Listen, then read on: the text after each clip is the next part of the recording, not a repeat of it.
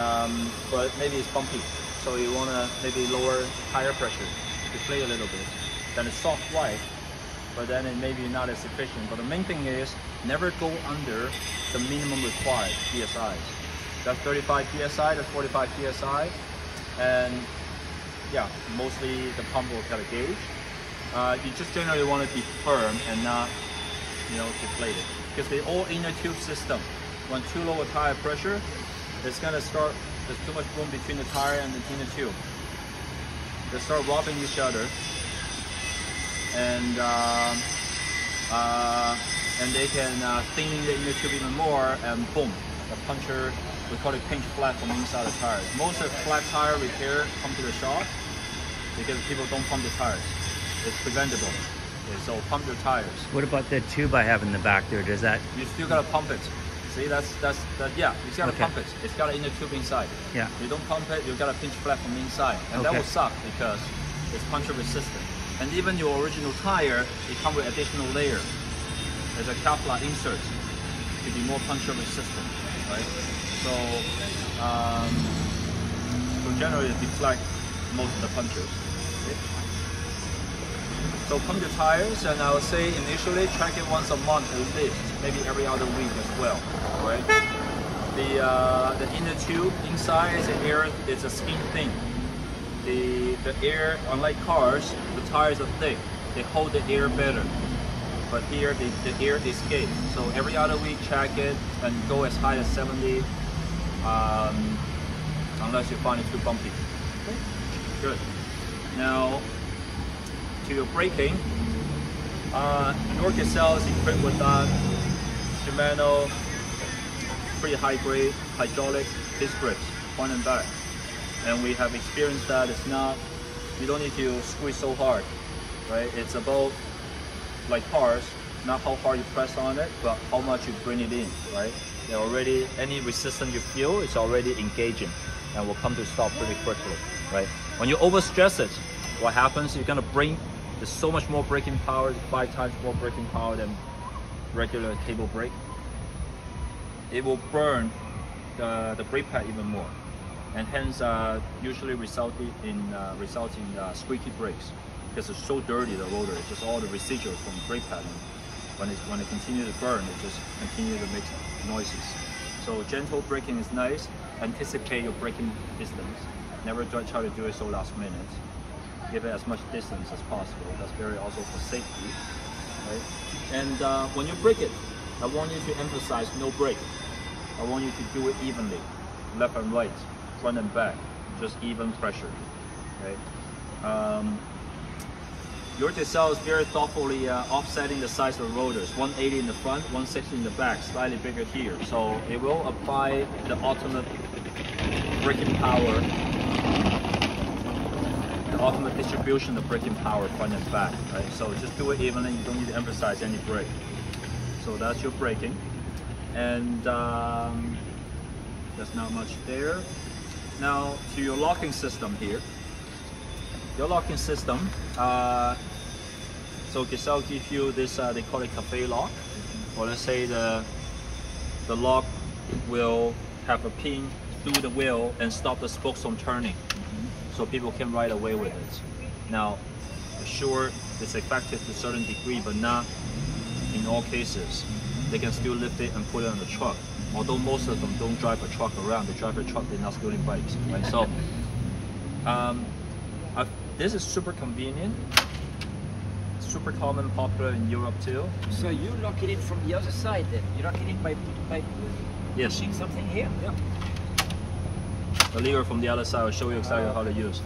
But use this lock, the scenario you want to use it is like in front of the shop, coffee shop, hence the name cafe lock, like the bike still in your sight. Okay, then then it's uh, it's quick, it's convenient, and it's actually better than locking it a block away to a bike rack you cannot see. Right? So so that's how you sort of use it. You will have enough response time to keep up with a guy who try to lift it like this. Right? Okay. So now exactly how they work. Um, you have a you need two hand operations. the lever you want to push it down, but it is locked in by design. So there's a lot of safety there. Doesn't to prevent to prevent when it, the wheel spinning, possibly locking it, like you know by your hand or whatever, like as, as you ride. To prevent that, it requires the key to be turned first, so you can move the lever. Okay. If you don't turn the key, unlocking it first at the first place, it does not go. Okay. So requires two-hand operation. So turn the key, then you can move. Otherwise, it don't go. Turn the key, move, go all the way, decisive, burn Uh-huh. then locked. The second safety feature it does have, pretty smart and thoughtful as well, is the key is only removable when the lock is properly engaged. If you could not pull out the key, that means your cafe lock is not properly engaged. Try it again. Only when it's safely locked, you can pull out the key. There's no other chances you can pull out the key. Okay. Hence, during the ride, the key stays in by design. You will never lose your key. We love the system in our rental fleet. We never lose the key now. Before you give it to somebody, they always lose the key. Yeah. Right. Okay. Right? So it stays in and lock like that. Uh, to unlock it, simply just shut it. Don't need two hands, one hand. My key is not there.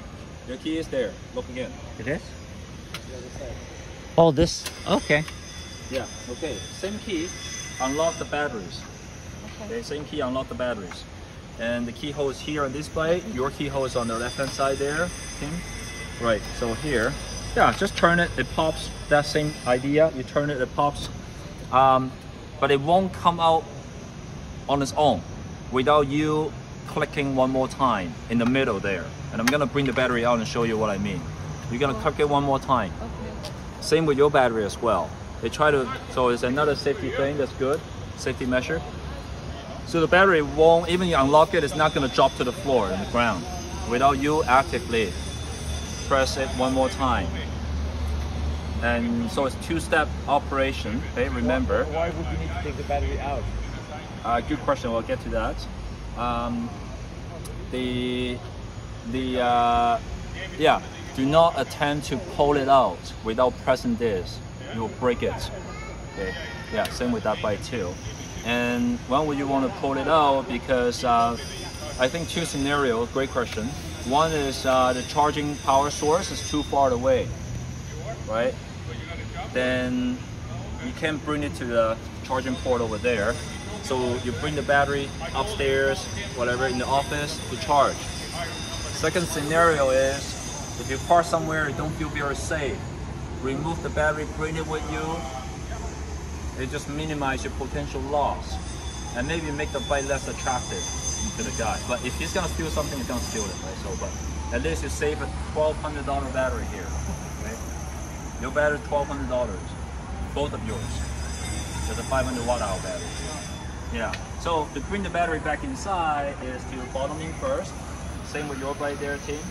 And then you're gonna turn the key to let it in, kind of unlocking it, and just go all the way. Easy, quick. Put it in. You don't need to click on anything. Just bring it in. Okay. So that's your battery But you can charge it when it's attached to the bike. You can charge it when it's attached to the bike. So if the power source is nearby, Gwen, I kind of remember the bike is gonna be in the storage room. Yeah. Yeah, yeah, that's good. If the power source is nearby, within six feet, they come with a charger, then you can just charge it here without removing the battery. So that's very convenient here. For Tim's bike, it's right here.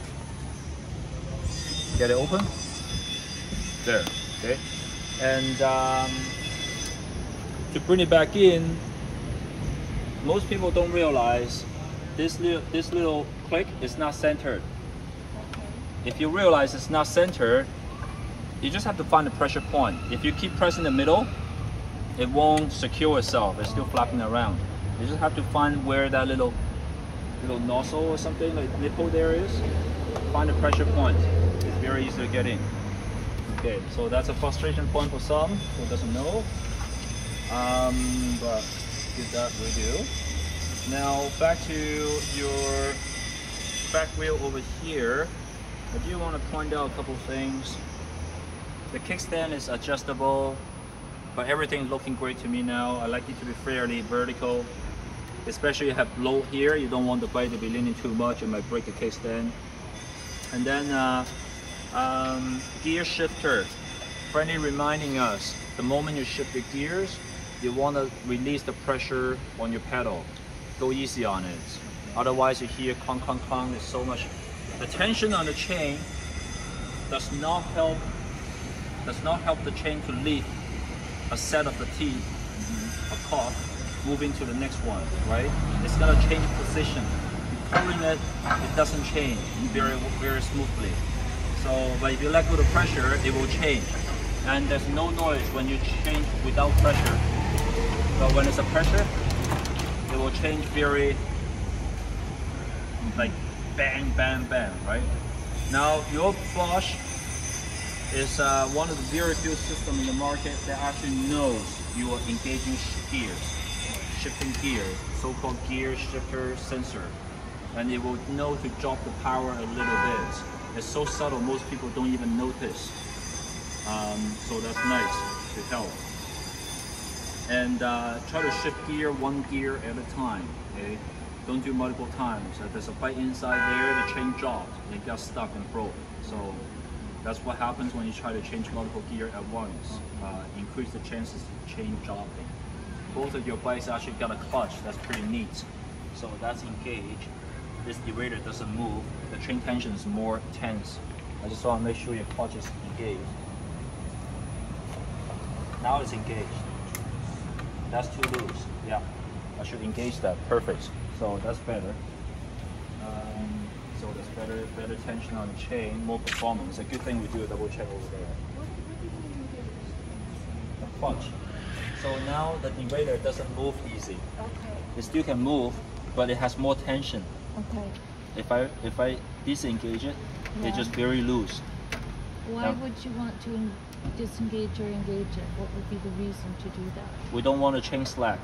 Okay. When the chain slack, when you change, it bound, it dances Okay. around, and that's when the chain dropping. Okay. we call it, or it doesn't shift as snappily. So now it's more snappy, snappy shifting. No, no, well, the question was, why would you disengage it? What for? Oh, disengage wheel four, because if you do need to remove the wheel, Oh, okay. you need this to be loose so you can get the chain out of it. All right. But when you ride Otherwise, the chain you can. it, when you ride it, there is no point of disengaging. Correct, unless you want a very slappy chain. I guess no, you don't. Yeah, why not? Why? Yeah. Okay, so uh, your rear rack is super heavy too, right? heavy duty. Yeah. Yeah, so um, I know Gwen's not using it, that's a good idea. Um, and the Dutch way, you can even certainly double the pressure, there's so much sturdiness to it. Twice as big a bolt as any North American bike, and also got a hardened steel connecting back to the frame, so that's very good stuff there. Um, I would also want to say here, that's your speed sensor I want to point out. This is a magnet, and that's a sensor. That's how the Oh. computer will know how fast the bike goes every time the magnet passes. Okay? Where's the And magnet on that? Where is that magnet? right here. Well, that's interesting. This one actually I want to readjust a little bit in a bit. Um, so we, we want this to point it to where the icon is. That's called proper alignment. It can't go here, it can't, it won't pick up signal there, there, there, there, there, but except here specifically. It's got to screw the bites into the spoke, generally very tight. But if you accidentally kick it, misalign, what happens next? It doesn't know speed, right? You know what happens next? As a safety measure and also compliance to uh, the regulation, Bosch is going to cut out the power to prevent someone going faster than 32 km per hour, Oh. right?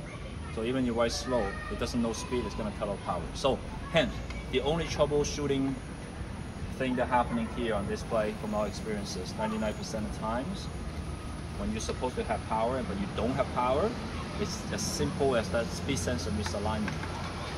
You realign the sensor, you get your power back on. The Bosch is that robust. We don't see any issues. Unless the bike's damaged during shipping, then we're gonna find out within the week. Okay. Otherwise, the Bosch is indestructible. Um, so that's a speed sensor, and we cover the lock, everything. Now to the cockpit. Your bell flipping, your gear shifting already learned, downshift, upshift, and um, uh, everything's highly adjustable. Adjustment, we do it. Uh, if you don't need to know, I'd rather not show you. And then we have, um, uh, so just bear in mind too, right? Like Tim, your right now is set to neutral. So I can bring your handlebar back maybe inch and a half, forward an inch, right? So I can do all those kind of adjustments. And uh, now to your uh, electronic displays. You have a little cheat sheet here. There's four buttons. Four buttons. says here on and off switch. That's power on and off. And here plus is for more power. You already know. But why is that light? Because that's a hidden second function of the plus button. When you hold it long enough, it becomes a light switch. Okay, so that's a reminder there, a little sheet. You can peel it off after you get it. yeah. And minus, see a second function here it says trip slash total slash range. So when you when you tap it, it's less power. But when you hold it long enough, these functions will become valid. Like will, will come on. So you hold it long enough, you get to change the display to see trip distance. Okay. You can get to see total distance. You can get to see even estimated range. How far can you still go with your current charge? And uh, yeah, And talk more about the that. reset for the trip? Reset is two together. So you can reset your trip distance. Mm-hmm. You can reset your range. And I'm gonna talk to you about uh, what happened with range there. I might as well explain it right now. The range, they are smart, these guys. It's actually recording and taking actual data. What's the power consumption in the past 10 kilometers in order to forecast well, how, much, how much longer you can go. So it's dynamic. Oh, It's constant learning. It's adaptive. It's dynamic. how much right? longer the battery will let you go? Correct. Oh, okay. Based on actual writing data. Oh, okay. Yes. So it's actually quite possible for you to see even a higher number range at the end of your trip Oh, if you have been pretty proficient riding it with using the gears and everything. Yeah. Can I find that out before I before I leave? Can you find it out before you leave? What do Yeah. you mean? The Like range? a range, yeah. Yeah, you you will. But uh, but right now because it's such a brand new bike, Okay. so that Needs range to learn my exactly it has to learn. So whatever that number is, I don't think it's highly relevant. Okay. Um, so it will learn, and then and then but hence the reset, right? Because you can reset the range back to what average person will do according to Bosch. Average person, will, we're gonna see it. Average person will do about 120 kilometers on eco, where I've seen people do 180, quite a few. And that all depends on the gear you're in? How you how you how how well you know to use the gears, Okay. how much you pedal, and the terrain. Like let's say the tire inflation actually does a big deal. Okay, can do 10% to the range, right? So there's a lot of factors, uh, factors are going to come in play, the wind and all of that. Um, so that's range. And then lastly, the four button, the last button is a walk assist, they call it. So the bike will walk itself. The bike will walk itself. For those who have paid for your bike, you're very lucky. We won't charge What do you mean the- additional. But, do For, mean the- for the who hasn't bought it, is What do you mean the bike move? What's that mean? the bike will walk itself. I'll show you how. Um, so it will even walk you right, if you engage it. Yeah. That really help. I say the best scenario I find a walk assist is like I, I don't walk up the stairs anymore. I don't lift the bike anymore. I just roll it up the stairs. It goes on its own, right? I use it for stairs. oh, I didn't know that. Good it's to okay know. in flat, you know, it's sure, you know, it's heavier bike, but like fine. I can Hmm. just walk it like that, right? But up the hill, driveway, ramp, steep hills, you can just walk, which we're gonna show you now. Okay, now that we've gone through the four buttons, we'll take a look at exactly how they work. On and off over here, sure, tap it, right? Don't need to hold it, tap it, it comes on in a second. Tap again, it turns it off, right? So that's your power button. Now, a lot of people actually don't know, and another thing that we appreciate the German thoughtfulness is, um, and only Bosch does this, offers this. Um, you can turn. Second way to turn on the bike is by back pedaling. Oh, and it's quite intuitive because most say it's off right now and most cyclists are on the bike like that pedal position is not right. So what i'm gonna do is i'm gonna get my pedal position right and then i'm gonna go. It's on. Okay. so your back pedal is on or you just keep on riding and realize my system is not there. I back pedal and the system turn on and just go. So back pedal can turn on the bike or you just press the button it's also pretty simple there right and now that we're seeing uh, speed assist level and batteries right they're also indicating to me that the light is on yeah with the, i- with the icon there right Right. yeah, and we can see that it's on front and back. You got your side beams as well, so it's pretty safety. The whole tires are reflective, so it's actually a lot of safety around it. Uh, same with your bike there, Tim. Wow. Um, now, if you hold, so the light light switch now. Uh, Brian, let's have some muscle memories. To turn off the bike, the, uh, sorry, to turn off the lights is to hold the plus. Okay. Yeah, the light is on now. Let's say Okay. you want to turn it off. What do we do? We hold the plus long enough until that little icon disappears. Okay. Then say the light's off, Okay. Right? And you reckon? I mean, we'd only use the light at night, right? Or at Uh, dusk. oh, or- that's yeah. great. I actually recommend um, the light on all day. Oh, okay. It's Does a it drain the battery? very li- little, right? Because it's LEDs, very energy efficient, 7 watt, but you have 500 watt hour battery pack by, by map. That's what? One and a half percent. Right, so not a great deal, all right? So it doesn't really do much to distance, and um, and why not have more visibilities, right? You got a huge battery here, right? So uh, so we leave the light on during the ride, and uh, now we see here that says off right now, and the minus when I hold it, it will show different information, right? It will show that okay, the speed nine kilometers the trip distance, which you can also reset it by holding the two together to 0 Mm-hmm. So this will be helpful, like you want to see how much you do for the day, for the week, you know, keeping some personal goals, and so you can do that. And hold one more time, we get to see the total. So this bike actually has some uh, just a little minimum test ride on it, 29 kilometers odometer. And no one can change these settings, right? No one can change these settings. So that's awesome too. Now the range we can see now with three bars, Eco, Echo, we're seeing 38 kilometers. Uh, I don't I actually don't know if it's high or low, so I'm just gonna reset that. Let's see what happens. 40. Okay, tiny little bit change. So 40 is uh, what average person will do on these three bars right now. Okay. And I actually suspect it's only two bars. It's gonna drop to two very quickly. Uh-huh. The fully charged should show about 120. Yeah, so this is actually pretty low right And now. how long does it take to fully charge? Ah, great question. Uh, your Gazelle it's, uh, comes with um, a 4M fast fast charger, faster charger. It's two type of chargers. So instead of eight hour standard charging time, this one here and that one there, um, or all Gazelles actually, they don't even advertise it. Like they should advertise, they don't advertise it. Um, so it's automatic upgrade to a four hour charging charger. So it takes no more than four hours to fully charge your battery. Um, in other words, it's kind of one bar, approximately one bar per hour, right? So it's two, two, two out of five. Then I'll just charge it uh, a couple hours, then it get to uh, full, right? And is the kind of battery that you should run down a bit before you charge again? or- Exactly the opposite. Okay. Exactly the opposite. The type of battery that will be um, when you run up, run down, that's much older technology or that's lower quality stuff. And so over here, there's um, uh, so on the battery charging topic, I, I have a copyright for this one, huh? I have an analogy for it. I'll put it Oh, on no, your no, no, The whole Facebook video is good. Okay, Yeah. great. Yeah, yeah, yeah. But this analogy I'm gonna give you about battery maintenance, uh, it's pretty accurate and hopefully it helps with memorizing. Is I uh, I called it. Uh, think of your battery like a little baby human being.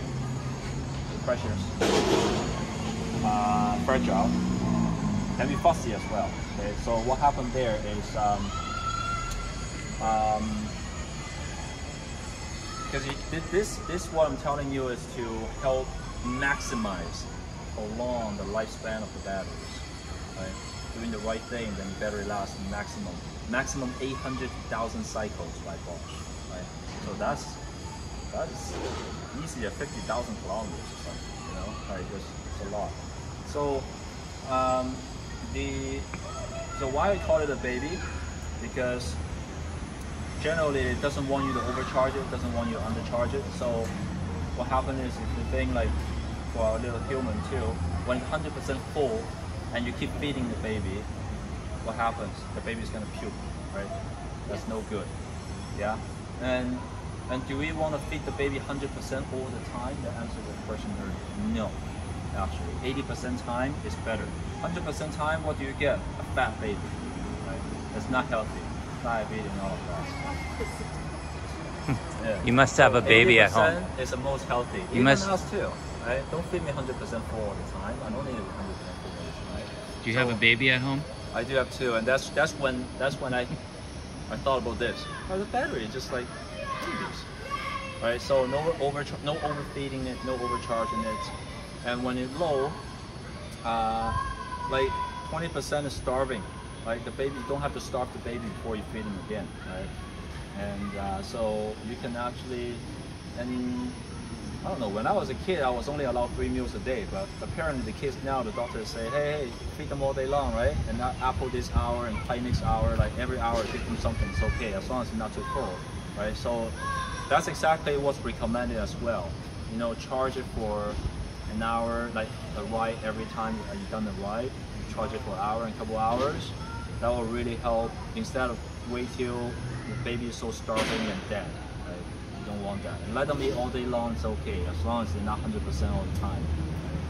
Yeah, so that's most healthy. Yeah. Um, right, Fussy, so fussy, what was the fussy part? the fussy part, Yeah, yes, when it gets too cold or too hot, Yeah. what happened to your baby? yeah, tried. It gets sick. It gets cries. sick, yeah. Well, except that it doesn't know how to cry. So, uh, and um, uh, so 15 degree or higher up, better, right? So don't you cold. For those who storage in your bike in the garage winter time, remove the battery and bring it indoor, unless your garage is heated, right? So um, you want a room temperature. That's what it is. But when you use it outside, sometimes it's like 25 degrees, right? So That's fine. That's fine. That's fine. Okay, like one time, two time, occasional. You know, the baby's hundred percent. It's okay. I'm just talking about not all the times, right? And do we have to like like kill so much brain power to try to do that? Maybe not, right? Like 800 cycles, 700 cycles, still a lot, right? What we don't want is 200 cycles out of it. You so have it- to replace the so- battery in two so we don't need to charge it 100%, you're saying? It's better not to, and not like if you want to have a maximum lifespan of the battery. Okay. Like Tesla allow you to set, and they will recommend that too, like up to 80% and stop charging. And how do you know if it's close to 100%? Five bars, each bar is 20%. So essentially what you want is anywhere two, three, four, right? You don't want to see one bar, you want to avoid seeing one bar, and you want to avoid seeing five bars. Yes. Now that's just a rule of thumb, okay? But- but it's not gonna die, it's not that If you easy. don't charge actually. it fully, then you don't go as far. Yeah, obviously, but generally you don't go as that far. No? Very few people go 100 kilometers every day. They're awesome. Your buddy Leo. okay, so uh, What is this? right, this is that's a that's a suspension thing. okay. And yeah, it's good to talk about this a little bit. And so your suspension fork is actually adjustable. So that's open and that's locked. Now to reach it right. Okay. Um, I, I stopped talking about this just because we're all recreational riders mostly, but except for commute. Oh, you don't need you don't don't need it. Yeah, Sorry, yeah. Go ahead. no, Okay, so I'm gonna leave it open so you get your maximum suspension comfort. Now walk assist. Let's see. Take a look at the walk assist. Lastly, walk assist. So the walk assist. This is important. Like for walk assist to work, um, there's um, yeah. Again, this is a whole bunch of uh, safety measures. It's not that easy to make it. It doesn't come off accidentally. They try to prevent it going too easy. They have to be very sure that you want to walk it. So first thing happen is you have to engage any of the assist levels except for off. When it's off, the walk assist cannot be activated. You want to make sure that you kind of consciously aware that your machine's hot, eco anywhere. Then you can activate the walk assist. You See the screen now actually changes to walk, right? But if you're off, nothing happens. So eco anything doesn't matter what level it is. Then you have the walk assist. Secondly, you see the walk assist is gonna time out. You don't walk, it's gonna time out, return to normal.